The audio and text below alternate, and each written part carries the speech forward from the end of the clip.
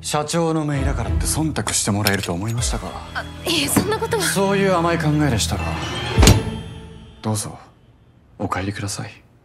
今回は転職の魔王様をクレパスで描きます。ドラマや映画を見るのはとてもいい息抜きになりますね。ネットフリックスなので一気見できるドラマをもっと増やしてほしい。今回はこんな魔王様が出来上がりました。